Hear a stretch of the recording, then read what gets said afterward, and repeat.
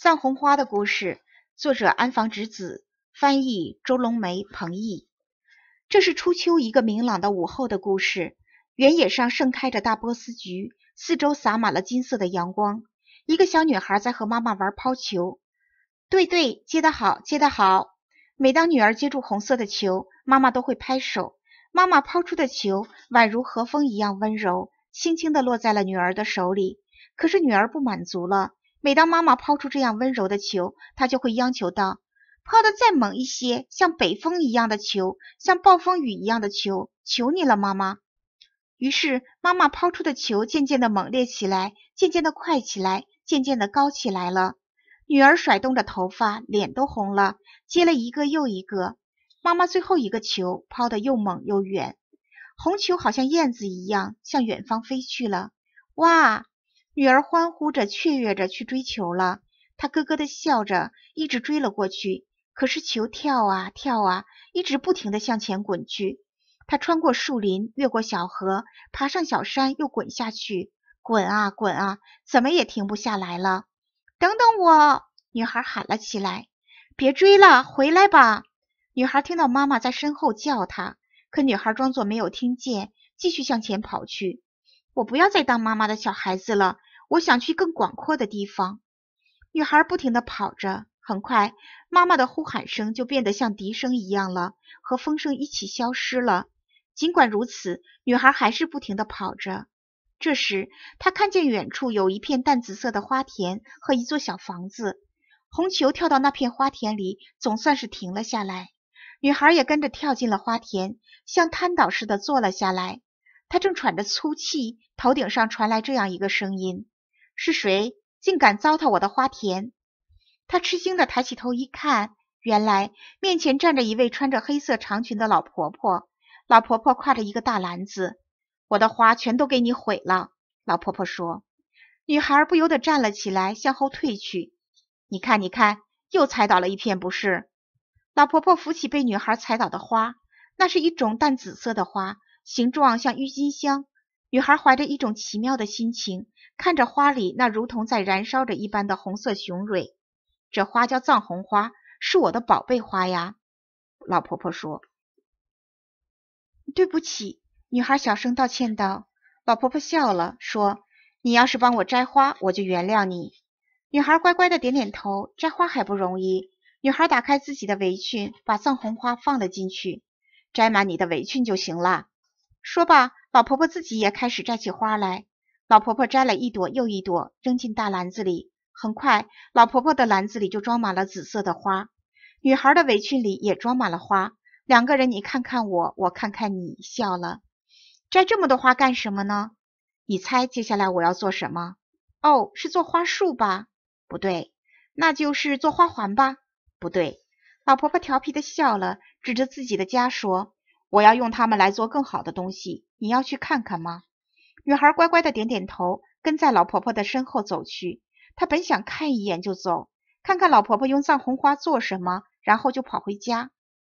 可是，一迈进老婆婆的家门，女孩就把前面的事情忘得干干净净了，因为老婆婆的家里太耀眼、太灿烂了。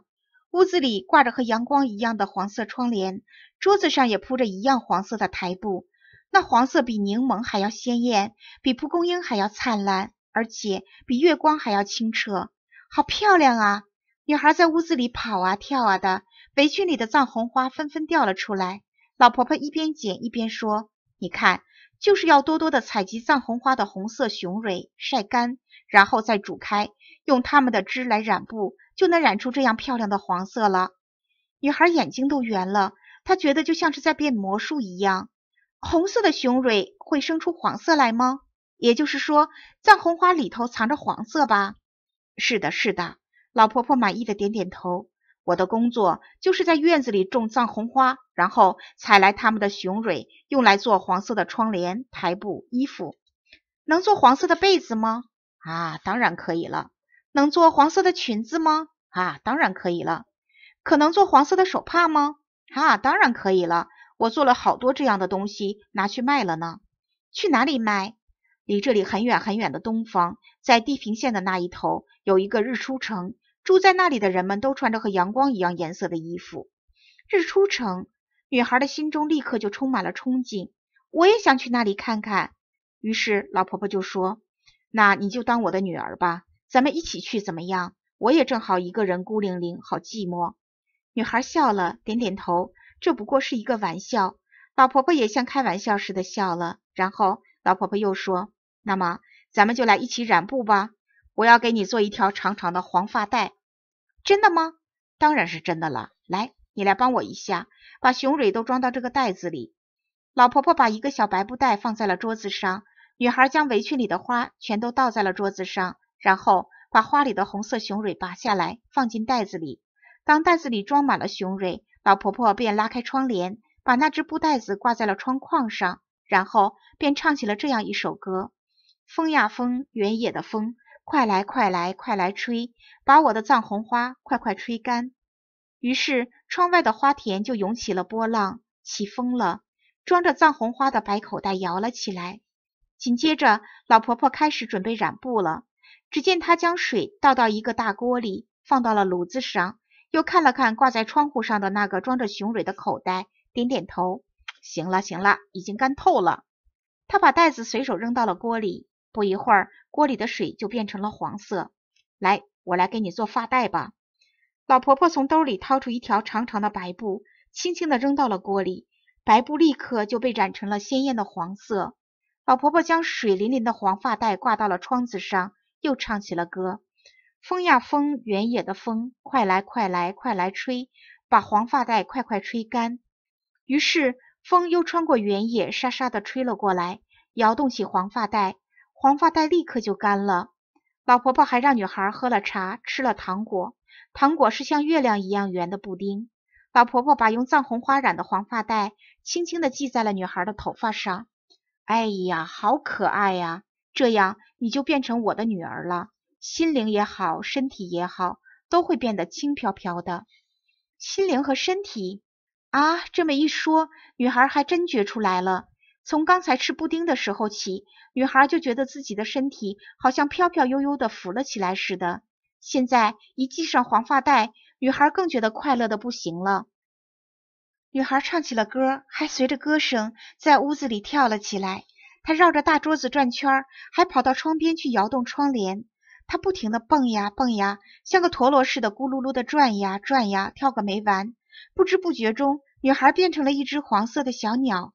太好了，太好了！老婆婆笑吟吟地伸出双手，轻轻抓住小鸟，然后把黄色的小鸟放到了金鸟笼里，锁上了。天相当黑了。当秋风变得冷飕飕的时候，一个女人来到原野上那座孤零零的房子前面。有人吗？有人吗？女人用力地敲着门，门打开了一条细缝，一个穿着黑裙子的老婆婆的脸露了出来。有什么事吗？有没有一个女孩来过这里？皮肤白白的女孩，头发有这么长，大大的眼睛。呀，没有来过。老婆婆冷冷地摇了摇头，目光冰冷地说。我一直是一个人，既没有亲人，也没有朋友，连只老鼠都没有来过。女人也死死盯着老婆婆的眼睛，她心里在喊：“你说谎！”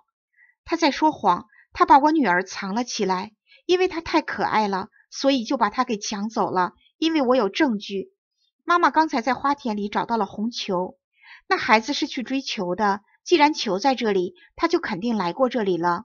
不过，这个妈妈可是一个聪明的妈妈，她可不想在这里和他吵架。她想，我要想办法进到屋子里，找到女儿，然后两个人一起逃掉才是上策。于是她说：“能不能让我歇一会儿？我到处找孩子，累死了。”行啊，请进屋吧。老婆婆点点头，把女人让进了屋里。屋子里点着煤油灯，在煤油灯灯光的照射下，黄色的窗帘和黄色的台布看上去宛如梦境一般美丽。哎呦，您家里好漂亮呀！多么奇妙的黄色呀！老婆婆得意的点点头，说：“是用院子里的藏红花染的，这是魔法的黄色。”说着，她从兜里掏出一把剪刀，从窗帘的一角剪下一块小蝴蝶形状的布，然后放到手心里，轻轻一吹，你猜怎么样？布蝴蝶立刻就变成了一只真蝴蝶，翩翩飞了起来。看呐，还有一只。老婆婆又剪下了一片窗帘，又做了一只蝴蝶，还有一只，还有一只。小蝴蝶一只接一只的被剪了下来。老婆婆每吹一口气，就会有一只飞起来。无数的蝴蝶围着桌子飞了一会儿，就从窗口飞了出去，消失在藏红花田的远方了。这样的魔法谁都能行吗？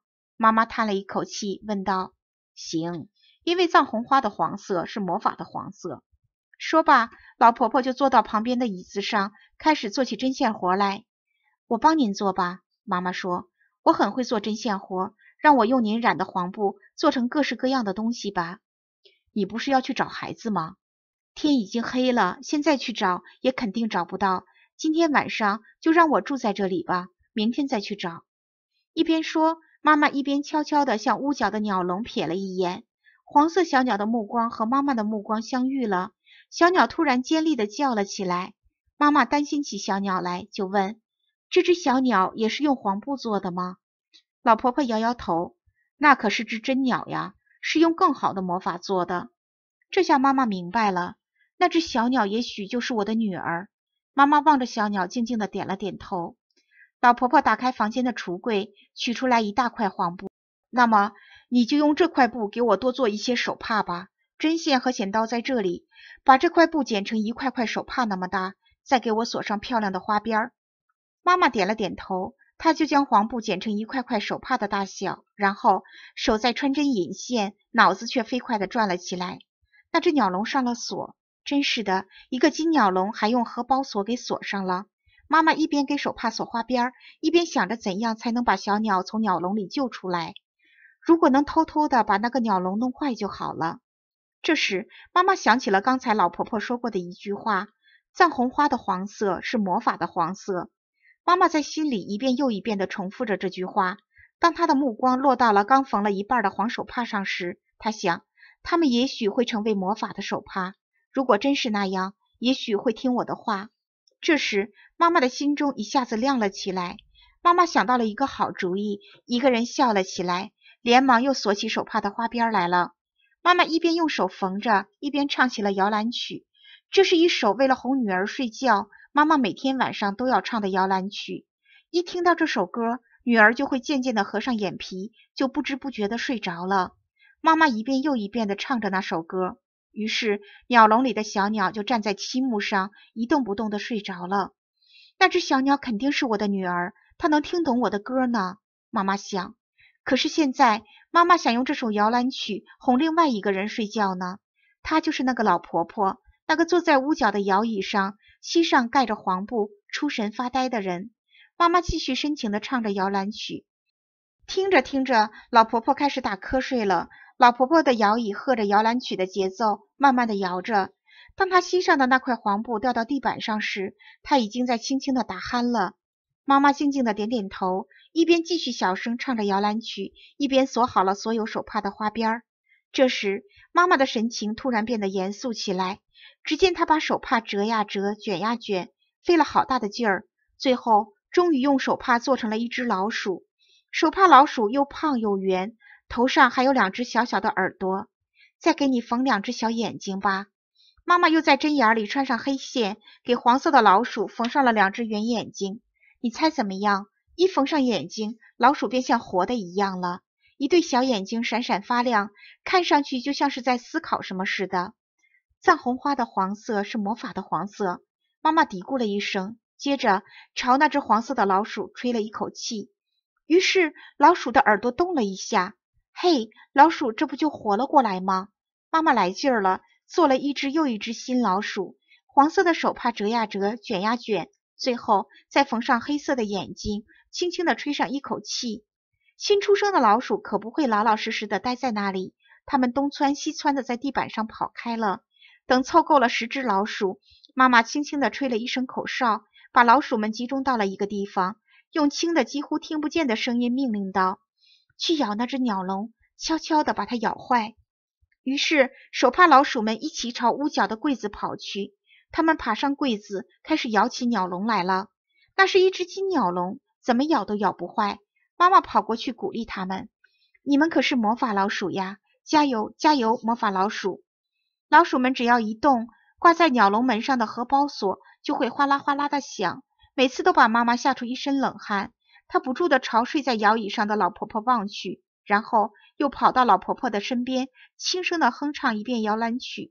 黄色的老鼠们还在不停地咬着鸟笼，可是鸟笼实在是太结实了，即使是魔法老鼠，也不是那么容易就能咬开的。十只老鼠集中在鸟笼的一个地方，不停地咬着金格子。妈妈祈祷似的看着它们。屋角的小煤油灯微微的燃烧着，在灯光的照射下，黄色的台布变成了金色。咬累了吧？妈妈轻声的招呼着老鼠们，然后从兜里掏出一块奶酪，来吃吧。妈妈把奶酪掰成一个个小碎块，放到了桌子上。老鼠们爬上桌子，把奶酪吃了个一干二净。吃了奶酪的手帕老鼠好像是胖了一点儿。太好了，太好了，妈妈想。然后她悄声地对老鼠们说：“去咬那只鸟笼，不停地咬，把它咬破。”老鼠们又开始咬起来。夜深了，挂钟在滴答滴答地走着。就这样，不知不觉天已经亮了。当屋子快要亮起来的时候，鸟笼的金格子终于被咬断了，正好咬出了一个可以伸进一只人手的洞。里面的小鸟醒了，啾啾地叫着。妈妈朝鸟笼跑过去。这时，老婆婆也醒了，从椅子上站起身来。“你在干什么？”老婆婆大声地叫着。就在这时，妈妈已经把右手伸进了鸟笼，抓住小鸟，飞快地揣到了衬衫的怀里。然后，她推开屋门，光着脚跑到了外面。老婆婆乱嚷乱叫的追了出来，可是妈妈已经跑到了藏红花的花田里。藏红花被黎明的风吹得沙沙的摇曳，还齐声唱起了歌：跑呀，向东，向东跑呀，一直跑到日出。妈妈跑呀跑，一直朝前跑去。实际上，她根本就分不清哪边是东，哪边是西了，只是在原野上一直朝前跑去。她知道老婆婆从后面追上来了，可是她不敢回头。妈妈怀里的小鸟温暖极了，妈妈还在不停地跑着，妈妈的心脏都快要裂开了。清晨的露水打湿了她的脚。当她翻过一座山，又爬上一座新的山时，远处的地平线像火一样燃烧起来了。很快，妈妈就被美丽的金光照亮了。远远的，有数不清的人穿着耀眼的黄衣衫，展开宽大的袖子，就如同一面长长的墙一样，渐渐地走了过来。他们似乎还哼唱着什么。妈妈睁大了眼睛，想好好看看那些人，可是太晃眼了，看着看着就不得不闭上了眼睛。就这样，妈妈用双手护着怀里的小鸟，倒在了地上。那些穿着黄衣衫的人围住了妈妈，他们蹲在妈妈身边，不断地向她吹气。还有人脱下一件黄衣衫盖到了妈妈的身上。虽然失去了意识，但妈妈还恍惚知道这些。啊，我也许会死掉，妈妈想。可我总算是救出了女儿。这回她只觉得眼里金光四射，彻底昏了过去。当妈妈醒过来的时候，她发现自己倒在了草地上，身边是小小的女儿，她已经恢复了人的形状，也倒在那里。女儿脸蛋红红的，静静的呼吸着，她的头发上有一条松开来的黄发带，轻轻的飘动着。太阳已经升得老高。四周一个人也没有。